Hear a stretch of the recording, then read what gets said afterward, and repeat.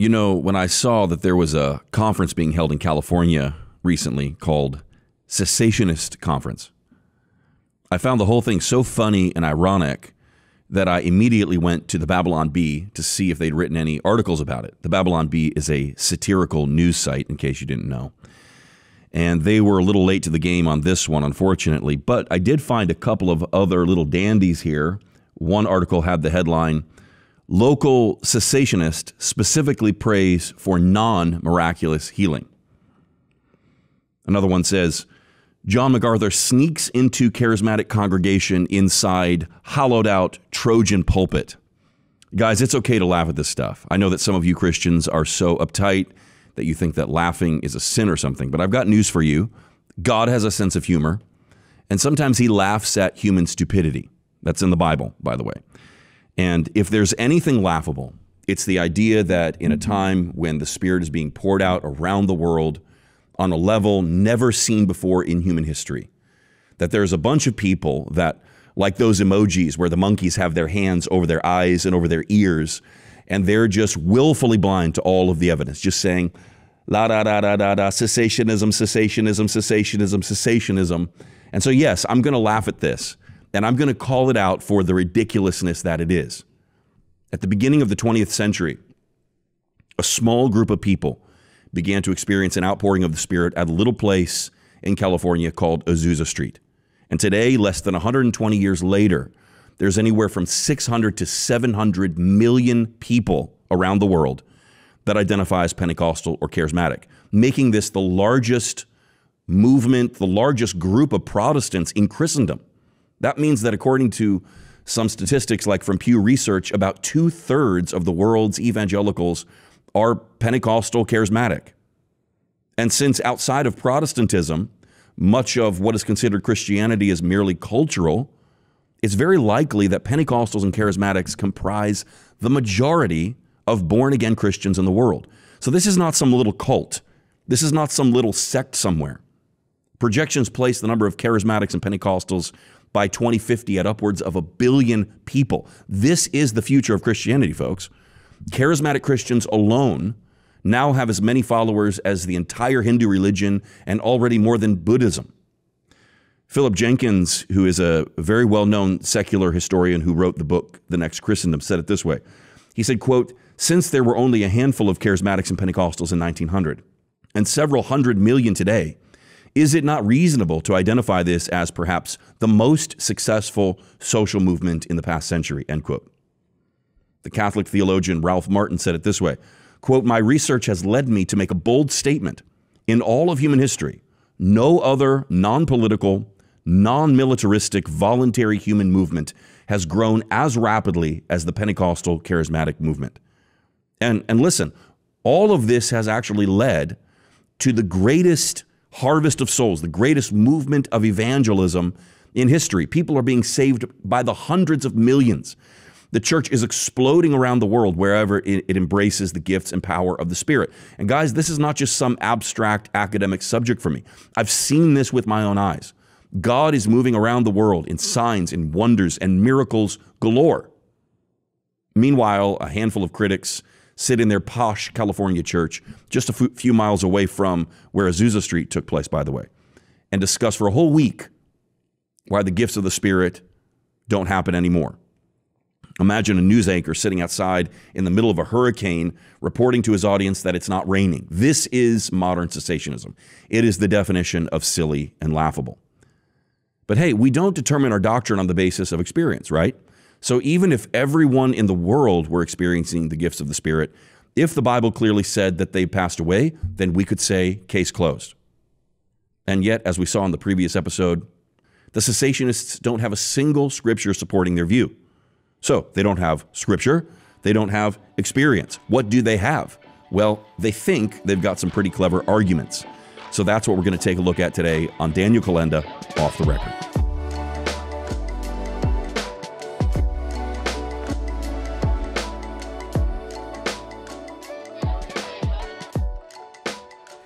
Hello, everyone. Welcome back to Off the Record. I'm Daniel Kolenda, and this is the second part of my series about the heresy of cessationism.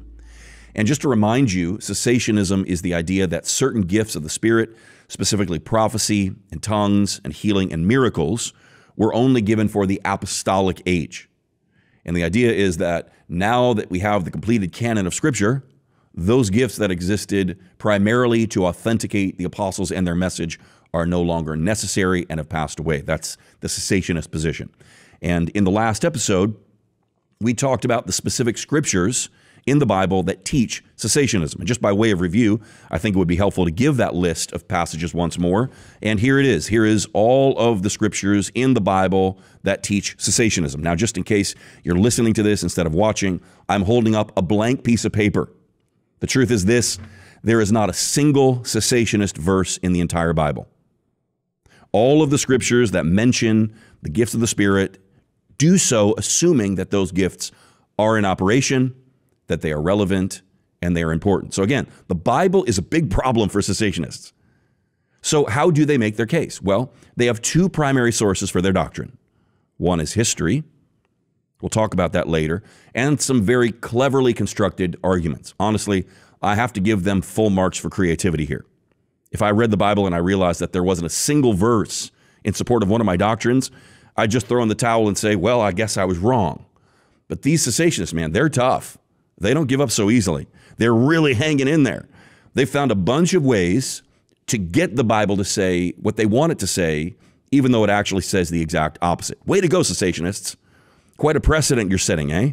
If the Bible doesn't support your theology, you can always just twist it and eisegete it until you get it to say what you want it to say. Now, some of these cessationists think that they've actually got the Bible in a pretty good headlock here. But what we're going to do today is go through some of those arguments and see if they hold any water. And by the way, I'm not going to straw man these arguments. I'm not going to give you the weakest and most ridiculous sounding version just to knock it down. I'm going to let them tell you what they believe in their own words. I'm going to quote them directly and then engage with their arguments from there. But before I do, I just want to start by addressing some of the questions and comments that came in after the last episode because there's some things that I actually meant to talk about in the last broadcast, but I forgot. And one of them has to do with my tone. Several of you felt that I was a bit too harsh and abrasive in that last episode. For example, Barbara said that she could have done without the smart and sarcastic comments. I get that. And I actually debated with myself about how to handle this. If you know me, you know that I'm actually not a contentious person. I don't engage in every debate. I don't jump into the fray at every turn. And usually, if I do address issues, I try to be careful and to treat everyone with respect and not to be too argumentative. But I decided to let loose this time for several reasons. First of all, the show is called Off the Record. That's literally the name of this podcast. And as I told you in my very first episode, I started this podcast because I wanted a place where I could just speak freely and informally. You can hear me preach on lots of subjects in lots of different places. It's very polished. I keep it very respectful. But this platform is specifically for me to address stuff that is a bit more difficult in a way that is unfiltered and raw. That's the show. That's what it's for. So why get upset when you get what you came for? And that leads me to the second reason. At the end of the day, this is who I am. Now, I realize some of you listening thought that I was being quite rude in the last episode, but anybody that knows me would understand that this is just my sense of humor in real life. I am a bit sarcastic, and my humor is a bit dry. That's real. And if that offends you, I'm sorry. And guess what? This issue actually is something that is a big deal to me. You know what? We all have things that are more and less important to us. And the cessationism issue is one of those things that makes my blood boil. Not only is it completely and utterly unbiblical, even anti biblical, but I believe that it seeks to rob millions of people of the experience of the gifts and power of the Spirit. And it at the same time is promoting a cold, powerless version of the gospel that is, in my opinion, a perversion. And I'm just not going to play nice about this. Some things ought to be handled with a bit of contempt. Cessationism is a view so unbiblical that I hate to even lend credibility to it by talking about it. But if I am going to address it, then I'm going to treat it with the antipathy and disrespect that it deserves. Again, it does not deserve to be treated as a reasonable position. And by the way, I find it somewhat ironic when some of you criticizing my tone come from these very hostile reform circles where you guys are always blasting me online. And by the way, you'd never condemn your own founders for things that they said that were far more inflammatory. Like, how about Luther calling Catholics pestilent Roman donkeys? how about calling the Pope a damned liar and the devil's mouthpiece? One time he responded to a critic saying, You're a brothel keeper and your God is the devil. Dude straight called him a devil worshiping pimp. I could go on and on with Luther. He's a gift that keeps giving. But of course, there's others like Knox and Huss and others that were also pretty abrasive. Maybe they were wrong. Maybe I'm wrong. But you know, maybe there's also a time for everything. And maybe it's time to call cessationism out for what it is heresy. You know, honestly, charismatics are generally some of the nicest, most loving, most patient people I've ever met. And usually, when we hear these very hostile things that the critics are saying, sometimes downright slanderous things, the reaction I usually see from charismatics is them just saying, It's okay. We're just going to love them. We're not going to repay evil for evil. And certainly that's the right approach. It's the, pro- the approach that I personally also have tried to adopt as well. But look, here's what I'm seeing happening now. There is a whole group of people standing on the sidelines, listening to these critics and becoming convinced, or at least confused, by their confidently defiant rhetoric. You know, there's some people that will think that whoever's shouting the loudest has the best argument. And they take the silence coming from charismatics as a kind of tacit admission that we don't have a good response to the cessationists. And I think it's just time for somebody to stand up and say very clearly wait a minute. You cessationists don't have a leg to stand on. You're twisting scripture. You're misleading people and you're doing it defiantly. And I'm not going to stand by quietly anymore. Here's another concern that I want to address. David commented, quote, I think you'd need to define your definition of the word heretical. To me, heretical means something that opposes orthodox doctrine. Even more, explain something against tier one doctrine. That being said, cessationism is not heretical. Very, very wrong, yes, but not heretical. Now, I appreciate that, David. That's a very measured and reasonable comment. But there's a couple things I'd like to say about that. Typically, I would agree that the designation of heresy should be reserved for something that touches core Christian doctrine. But I actually do believe that cessationism does that. This is part of the case that I'm going to be making over the course of this series. But moreover, historically, heresy is something that threatens the survival of the faith. And I do believe that cessationism does that. And I'm going to argue for that as well in this podcast. But here's the bottom line these very cessationists, like the ones that put on that cessationist conference, have actually set a new precedent of calling basically anyone they disagree with doctrinally a heretic. And if that's how they're going to play the game, then there's no way that I'm going to wear kid gloves when handling something like this that actually does, in my estimation, rise to the level of heresy. Now, again, look, we're taking a journey here. And by the end, you might agree that modern cessationism is heresy. You might still have the same softer stance towards cessationism that you have now. Or, look, I might change my mind. Let's just see what happens here. One final thing that I want to address is this. One person commented, quote, congratulations, you just called the reformers, the Puritans, and most of the church fathers heretics. Now, what this person is saying here, in case you didn't catch it, is that the reformers, the Puritans, and most of the church fathers were cessationists, he's saying. So by saying that cessationism is heretical, I've actually called all of these folks heretics. Now, again, that's a totally reasonable and common assumption. But I'm going to show you in an upcoming episode that it's actually wrong. Modern cessationists, like the ones leading that cessationist conference, are fundamentally different in their breed of cessationism. In fact, what modern cessationists believe and teach is something that has evolved over time into such a twisted, extreme version of what anyone before them believed that it shouldn't even be called by the same name.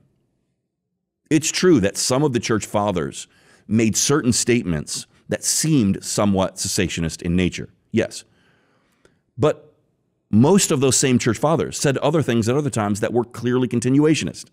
And even when they did say things that sounded cessationist, they didn't mean them the same way modern cessationists do. They were mostly just making observations about the lack of gifts and miracles in their time. They were in no way making an argument for cessationism the way that modern cessationists do.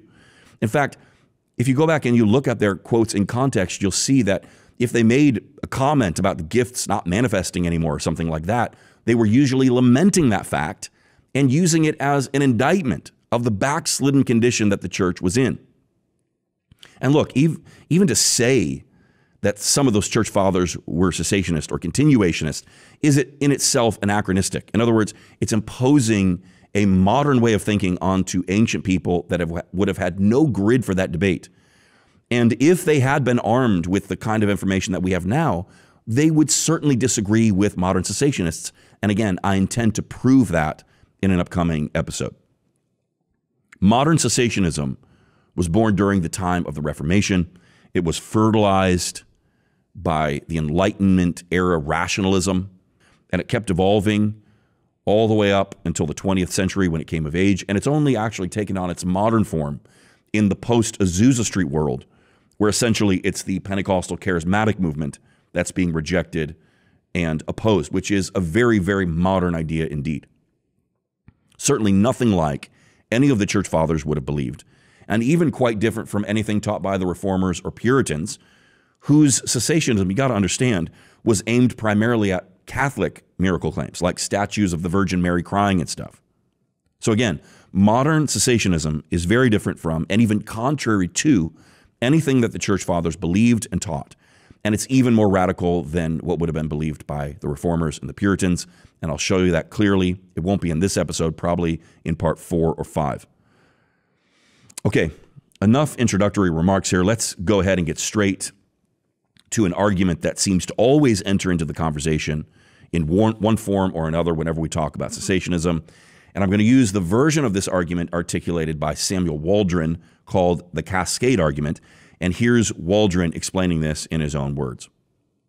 My argument against the continuation of the miraculous gifts is called the Cascade Argument. It goes like this There are no apostles of Christ on earth today. Because there are no apostles of Christ, we may cogently argue that there are no prophets on earth today.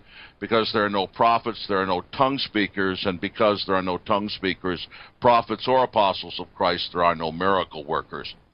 Okay, now I'm not sure if Waldron actually coined the term cascade argument, but he certainly isn't the only one to make this case. This is actually a very common cessationist argument. They basically say that if the gift of apostles has ceased, even though the Bible doesn't say that it would, that constitutes a premise for assuming that other gifts have ceased without biblical evidence as well. Look at this quote by Tom Pennington, who, by the way, I believe he was one of the speakers in that cessationist conference. Tom Pennington says, quote, it's also significant, I think, that the gift of apostleship ceased without a crystal clear New Testament statement that it would. That means it is neither impossible nor unlikely that other significant changes happened with the passing of the apostles as well. You see, once you agree that there are no more apostles today at the same level as Peter and Paul, then you have admitted that there was a major change in the gifting of the Spirit between the apostolic and post apostolic age. In fact, the one New Testament gift most frequently connected to miracles, the gift of apostleship, ceased. End quote. Now, I want all of us, especially any cessationists listening, to just pause for a moment and really think about how dangerous the precedent being set here is. It's like, well, the Bible doesn't say that there are no more miracles, but I haven't seen any miracles lately. So maybe we can just make that assumption without any biblical warrant. After all, the apostolic gift ceased, and the Bible didn't warn us about that one either. Wait a minute. Maybe there, there are no more prophets either. Maybe there's no more prophecy or tongue speakers. Well, why stop there? Why not use the same method to bring the entire Bible into question? Maybe there's no more salvation. Maybe there's no more fruit of the Spirit. Maybe none of the Bible is relevant. Maybe God is dead. Guys, this is a stupid, dangerous, and unbiblical precedent. Be that as it may, even this silly argument hinges on the premise that there are no apostles of Christ on the earth today. Now, I recorded an entire podcast, a pretty long one. If I remember right, it was like nearly two hours long, all about the apostolic gift and whether or not the gift continues or ceased. I'll put a link to that podcast in the description if you want to look in more depth at that subject. And listen, there's a lot more nuance to this subject than I can address here. So please don't start leaving ignorant comments about how I don't understand what apostles of Christ are or something like that. Don't do that before you go and listen to the more in depth podcast. I do understand the nuance of Waldron's argument. I've read his entire book. I don't have time to address all of it right now, but for our purposes today, let me just clarify a couple of things. What is certainly obvious is that the original 12 apostles are no longer with us. And nobody today has the authority that the original 12 had. No one today can write scripture. There's no argument about that. The 12 apostles of the Lamb were unique. There will never be anyone like them again. And we could spend time proving that, but I don't think it's worth the effort since I don't think anybody disagrees. But what Waldron and cessationists like him do is to actually conflate that special group of 12 apostles with the broader category of apostolic ministry, and then to basically say and infer that all genuine apostolic ministry has ceased. And that is, as I proved in that other podcast, a category mistake. When we, continuationists, say that we believe there are still apostles today, we're not talking about the 12 apostles. We obviously are talking about a ministry gift. It was described by Paul right alongside evangelists, pastors, and teachers. That's what it says in Ephesians 4 11 through 13. So Christ himself gave the apostles, the prophets, the evangelists, the pastor, and teachers to equip his people for works of service so that the body of Christ may be built up until we all reach unity in the faith and in the knowledge of the Son of God and become mature, attaining to the whole measure of the fullness of Christ. Look at that. The same Christ that gave apostles and prophets for the purpose of building up his body until we all reach unity and maturity, etc., also gave evangelists, pastors, and teachers at the same time for the same reason. So, how can you say that two of the gifts in that list are obsolete and the other three are still relevant? What legitimate rule of biblical interpretation gives you the right to do that? Do tell. I'm sure the Mormons and Jehovah's Witnesses would love to use that trick.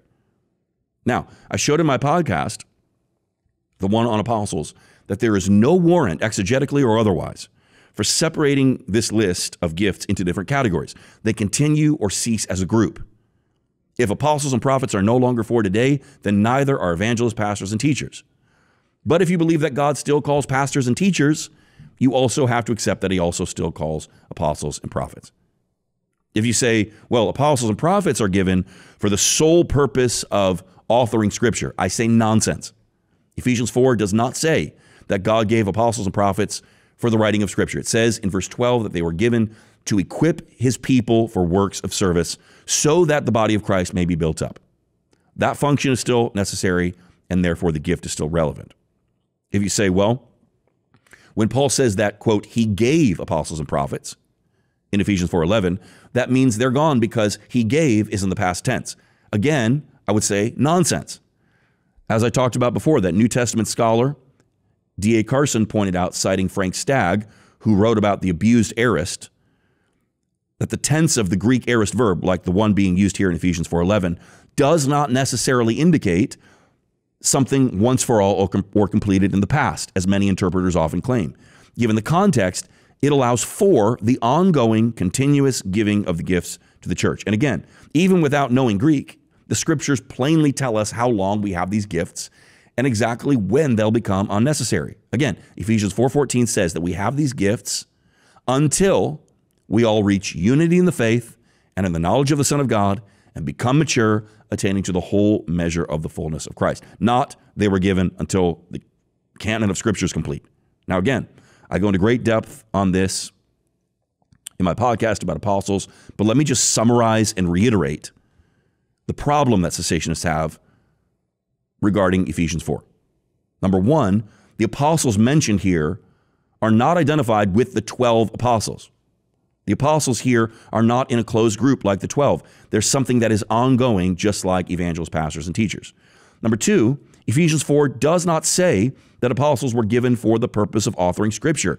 It says that they, as well as the other gifts, were given for the edification of the body, which is an ongoing need.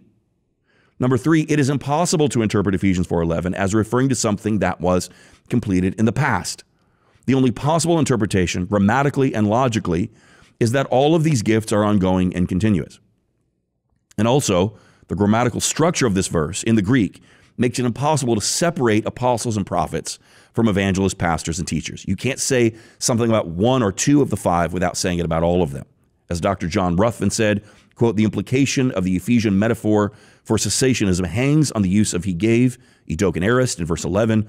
Was this a singular punctiliar act, as some would say the aorist implies? If so, This would argue for the uniqueness and cessation of the apostles and prophets, but it would also require the cessation of the other categories of ministry, evangelists and pastor teachers, since they are all placed in parallel construction and are characterized by the accusative plural endings. If the giving of these gifted people to the church is an ongoing process, then similarly, there's no exegetical warrant for artificially dividing these ministries into categories of extraordinary and ordinary, suggesting that one group is no longer given by the victorious Lord, but the other continues. Exegetically, the gifts continue or cease as a single group. End quote. So again, the big problem cessationists have in this verse is that Paul does not just talk about apostles and prophets. He also talks here about evangelists, pastors, and teachers. Cessationists can't say that all of these gifts were only given in the past because that would mean that there are no pastors and teachers, and all of the guys preaching and teaching this nonsense would have to go resign from their ministries. So here's the dilemma that they face. How can cessationists reinterpret Ephesians 4:11 in such a way that it makes apostles and prophets on the one hand obsolete, but allows us to keep evangelists, pastors, and teachers on the other hand? Well, here's the brilliant solution they found. There's actually two. The first one is to say that the apostolic and prophetic gift actually is still around. However, today the ministry of apostles and prophets continues exclusively through their writings. So, for example, Waldron says it like this quote, The ministry of both the apostle and the prophets did not cease with their death. The church continues to be ministered unto by the writing of the apostles and prophets, end quote. And so, Waldron is claiming here that the ministry of the original apostles and prophets does continue today, but only through the Bible. And so that would mean that we actually don't need God to call individuals today to fill those roles. Now, on its face, to a lot of people, this seems to be a quite reasonable argument. And I would agree that certainly the scriptures that were left to us by the apostles and prophets do quite capably attend to the building up and equipping of the body of Christ. But on the other hand, as I pointed out in the last episode, this is a self defeating argument. Why? Well, it's the very writings of the apostles, like the Apostle Paul, for example, that tell us that the gifts continue. For example, Paul tells the Corinthians in 1 Corinthians 1 7 that they are not lacking in any gift as they await the revealing, the return of the Lord Jesus Christ. There's not a hint in Paul's epistles that he had any sense that these gifts were going to cease before Christ returns. And that's why everything that he tells the Corinthians has to do with the ongoing nature of the gifts. They can all prophesy. He tells them not to despise prophecy. He tells them not to forbid tongues. He tells them not to grieve the Holy Spirit. And again, look, he tells them that they can all prophesy, not merely that they can all read what previous prophets have prophesied. So I don't think the explanation that the apostolic and prophetic gifts continue only through their writings holds any water. But there is one more interesting cessationist solution to the problem of Ephesians 4:11, which appeals to another passage in Ephesians chapter 2 verse 20, which says that the church is quote built on the foundation of the apostles and prophets with Christ Jesus himself as the chief cornerstone. And so cessationists say that what you can do is you can use Ephesians 2:20 to interpret Ephesians 4:11.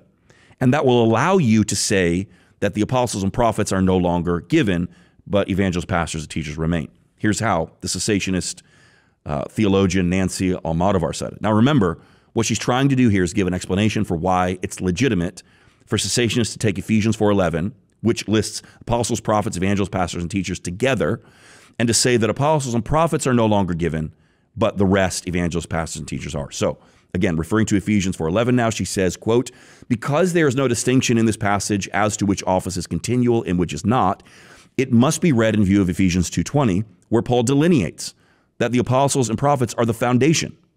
No builder ever places a foundation a second time in a building. Foundations are once for all tasks. Pastors and teachers continue because they are not foundational offices, but instead are leaders and rulers over the congregations after the apostles were gone. But the foundation does not need to be relayed. End quote.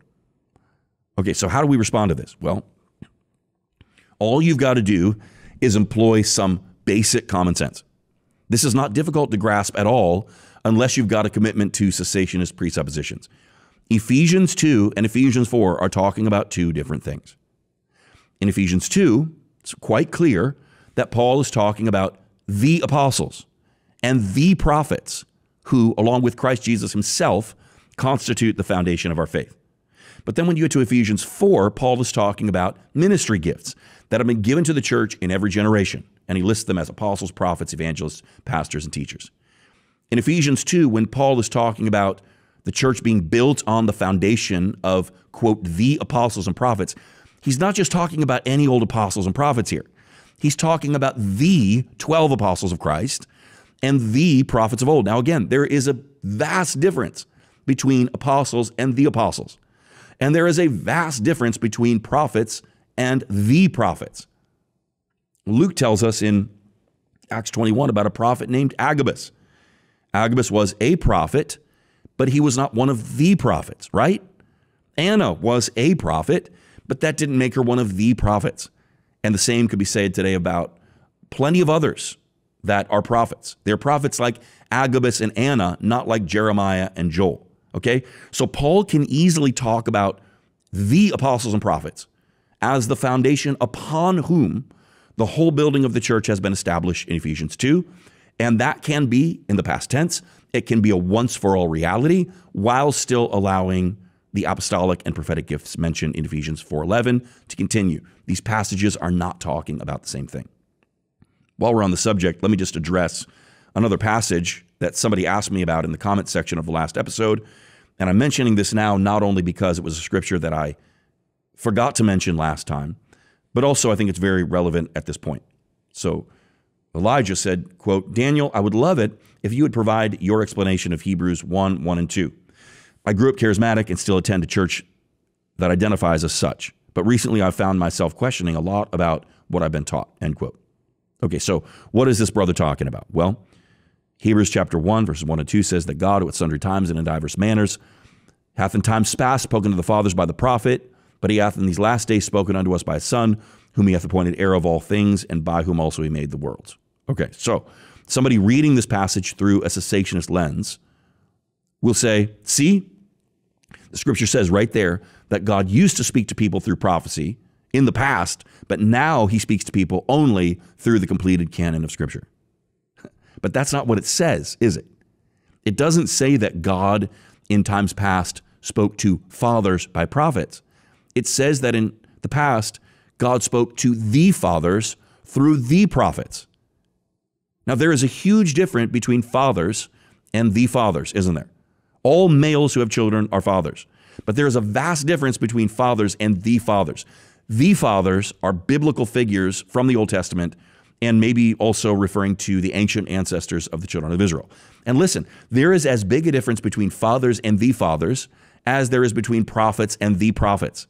The prophets are the people that spoke in the Bible. Prophets are just people called to and known for speaking prophetically. The prophets are figures from the Old Testament.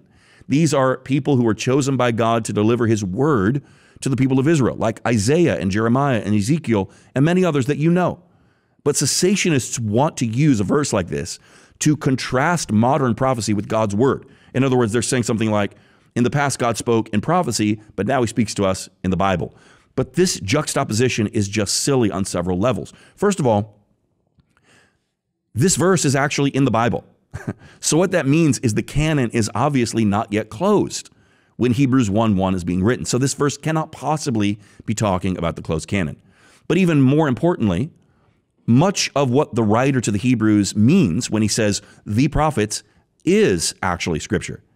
It would include things like the major and minor prophets. In other words, he can't be saying something like, in the past, God spoke through the prophets, but now he speaks through the scripture, because when Hebrews references the prophets here, it's another way of saying scripture. The law and the prophets. What is that? It's the Old Testament.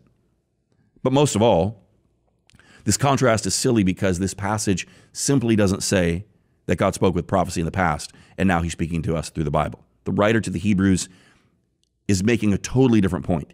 And it's in keeping with the flow of the first two chapters of Hebrews that Christ is superior to everything. He's superior to the angels, he's superior to Moses, he is our superior high priest. He introduces a superior covenant. And so, in that same vein, Christ is superior to the prophets and to all the messengers that God sent in the days of old. And he doesn't just come as someone delivering a message, he himself is the message. Jesus Christ is God's ultimate revelation. Now, Nowhere does it say that God is not speaking prophetically anymore. And in no way does this passage preclude the possibility that people will still prophesy today. But as they do, God will be speaking to us by and through his son. Like it says in Revelation 19:10, that it's the testimony of Jesus Christ that is the spirit of prophecy, which means that the central theme and the essence of prophecy is Christ. And by the way, that's true for Old and New Testaments. All the prophetic messages, all the revelations in the Bible find their ultimate fulfillment in the person and work of Jesus Christ. All right, so again, nothing in Scripture indicates that any of the gifts have ceased, and that includes the apostolic and prophetic gifts. But there is one extra biblical argument that cessationists make that has to do with this idea that if there are still apostles and prophets, and if there are still people who can speak in tongues and prophesy and perform miracles and healings, then here's the question How can we be sure that these people won't add to the closed canon of Scripture? And again, this is what many cessationists express as their primary concern. They're cessationists because they say they're trying to protect the Bible. They're trying to keep these crazy charismatics from adding to the Bible with their tongue talking and prophecy. Now, I said it last time. I'll say this again because I think it bears repeating. But of course, we all agree that the Bible is a closed historical document. And it's true that the New Testament books were either written or endorsed by a special group of apostles. These are the men that were with Christ and they were the witnesses to his resurrection. And so, since that first generation of apostles is gone, they can't write or endorse any new scripture, and therefore no new scripture can be added. We are all in agreement on that point. But here's where the cessationist goes off the rails. They conclude then that since the canon is closed, that means that there can no longer be any apostles or prophets. And as, we, as we've already seen, that is the error that sets off their cascade of stupidity. So you can see how important and central this issue of the closed canon is to the cessationist worldview. Sam Waldron writes, quote, the entire Christian church acknowledges that no new book has been added to the canon of the New Testament for almost 20 centuries. There's no debate about this. The New Testament gains its authority from the endorsement of the apostles and the principle of apostolic authority. This is so, first, because the church is built on the foundation of the apostles and prophets, Ephesians 2.20, Matthew 16, 17, and second, because only an apostle of Christ can claim to speak the word of Christ. It is the apostle of Christ, that is, as the man himself. Thus, apostles had either to write or endorse each book of the New Testament. The fact of the closed character of the canon, therefore, assumes and implies the closed character of the apostolate, end quote. So just look for a second at what Waldron is saying here. Let me read that last line again. The fact of the closed character of the canon, therefore, assumes and implies the closed character of the apostolate. What do you think about that statement? Is it rational to say that we know the canon is closed because the original 12 apostles are gone? Yes, I think that's a perfectly legitimate way of looking at this. So then, is the inverse also true? Are there no more apostles today because the canon is closed? No, that makes no sense. That, that's circular. To say the canon is closed because the apostles are gone and the apostles are gone because the canon is closed, that makes no sense. If that's the way your logic works, then what you're saying is that if someone could show somehow that there actually is an apostle around today, maybe through apostolic succession or whatever, then they could make an argument that the canon is still opened or should be reopened. Look, the canon is closed because the original 12 apostles are dead. In fact, look, you could actually drop the word apostles and make the exact same argument. You could say the canon is closed because the original 12 disciples are gone. Now, is the fact that the 12 disciples are gone evidence that the canon is closed? Yes. Okay, well, then since the canon is closed, wouldn't that also mean that there could be no more disciples? No, not at all. We're not talking about disciples being gone. There will always be disciples. We're talking specifically about a certain group of disciples, the 12, who were with Jesus from the beginning, who ate and drank with him after the resurrection. Why is that important? Because they were the ones that were called to be witnesses unto him. Their testimony about Christ is the closest that we can get to Jesus Christ himself. And that's why all of the church regarded their extant writings and the ones that they endorsed, like Paul's, as canonical. According to Ephesians 4:11, the apostolic gift continues to be necessary for the ongoing foundational health of the church. But that does not mean that somebody that has an apostolic calling today would have the authority to write scripture. They most certainly do not. As Waldron said, The entire Christian church acknowledges that no new book has been added to the canon of the New Testament for almost 20 centuries. There is no debate about this. I agree. There's no debate about this. Why do cessationists keep pretending that this is an issue when it's not? No charismatics want to add anything to the scriptures. Our exercise of the gifts of the Spirit is not an attempt to usurp scripture, but to follow it. And you know what else? I actually think cessationists realize this. It seems to me the whole issue of modern apostles threatening the sufficiency of Scripture is just a red herring. The role of apostles and prophets and the gift of the Spirit generally is not to replace the Scripture, but to affirm and apply the Scripture through the power of the Spirit to every generation. Just like cessationists need teachers and evangelists to keep teaching and evangelizing in every generation, in that same way, we also need the ongoing pioneering ministry and miraculous affirmation of the gospel in every generation. Now, on the other hand, even if the cessationists' concern here is genuine, even if they really are just trying to protect the Bible, the reality is that they've become so eager to protect the scripture that they've actually forgotten to obey it. The very text they're fighting for and trying to defend so eagerly specifically says things like earnestly desire the best gifts, 1 Corinthians 12:31. It says, desire earnestly to prophesy and do not forbid speaking in tongues, 1 Corinthians 14 39. 1 Thessalonians 5:20, do not despise prophetic utterances. Okay? So the same New Testament that they're defending says far more about apostles and prophets than it does about evangelists, pastors, and teachers. Look, the Bible is not just a symbol to be defended. It has instructions to be obeyed. And if cessationists aren't going to obey the scripture, then why bother to preserve it? Since we started with abrasive Luther quotes, let's go ahead and give one more. Martin Luther said, You may as well quit reading and hearing the word of God and give it to the devil if you do not desire to live according to it. Okay, now I'm going to switch gears here just a little bit. We're almost finished. But again, if you want to hear more about the ongoing relevance of the apostolic gift, feel free to listen to that podcast about apostles. And listen, I'll just tell you that Waldron's assertion that there are no more apostles today is just complete nonsense. Now, some of you might object that Waldron is careful not to say that there are no more apostles. He made it very clear that his argument is that there are no more apostles of Christ.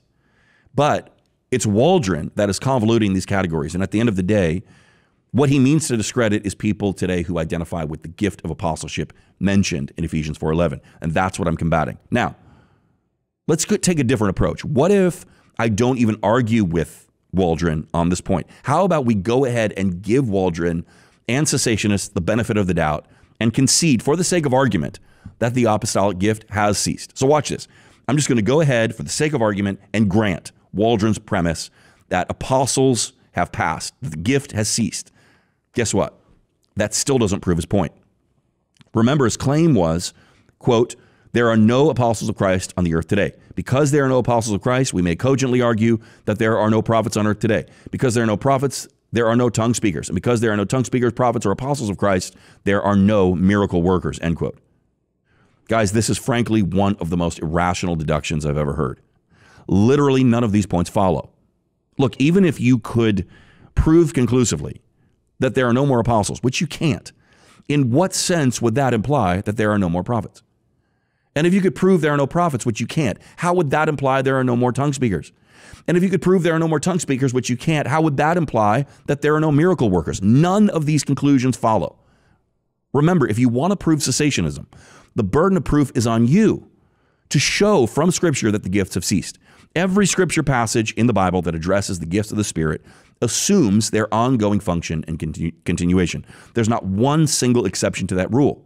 There's not a single verse in the Bible that teaches cessationism. I showed you that in the previous podcast in part one. So, what you've got to do, cessationists, is make an argument from Scripture for each of these points. What evidence do you have from Scripture that there are no more apostles today? What evidence do you have from Scripture that there are no more prophets? What evidence do you have from Scripture that there are no more tongue speakers or miracle workers? You have to argue for these points. And uh, good luck with that. And so, again, even if you could show conclusively that there are no more apostles, if you then say that that implies that there are no more prophets, then how in the world could you say then that that same logic does not apply to all of the other gifts on the list evangelists, pastors, and teachers. In other words, if the passing away of apostles would imply the passing away of prophets, wouldn't it also imply the passing away of, evangelists, pastors, and teachers? By that same logic, they're all listed together. As Dr. Ruffin wrote, they're written in a grammatically parallel construction with the same accusative plural endings. They continue or cease as a group. What kind of sketchy ratchet hermeneutics is this, cessationists? Okay, so Waldron's so called cascade argument actually turns out to be nothing more than a cascade of terrible, inexcusable, completely irrational nonsense. And this is the linchpin of his entire cessationist perspective. In the next episode, I'm going to be talking about some of the specific gifts of the Spirit that cessationists have problems with. I'll talk about tongues and prophecy, miracles and healings. I'm going to answer the question that I always get asked by cessationists, which is if you have the gift of healing, why don't you just go to the hospital and heal everybody? And I think cessationists think this is a really clever gotcha question. Well, I'll answer it. And the answer might surprise you. And then we're going to get into some really interesting stuff. I'm going to talk to you about where cessationism comes from, and I'm going to show you how damaging these ideas have been for the body of Christ. So, once again, don't forget to like and subscribe so you never miss an episode of Daniel Kolenda Off the Record. Now, don't forget if you have any questions that you'd like me to address on this program, or if you just want to get in touch with us, you can send those questions to questions at askdk.com. The DK stands for Daniel Kolenda, just in case you didn't make that connection. Again, that's questions at askdk.com. Also, don't forget to subscribe to this podcast. If you're watching on social media, be sure to like the page or subscribe to the channel. I've got so much amazing content on deck for you coming through the rest of the year. You don't want to miss a single episode of Daniel Kolenda off the record.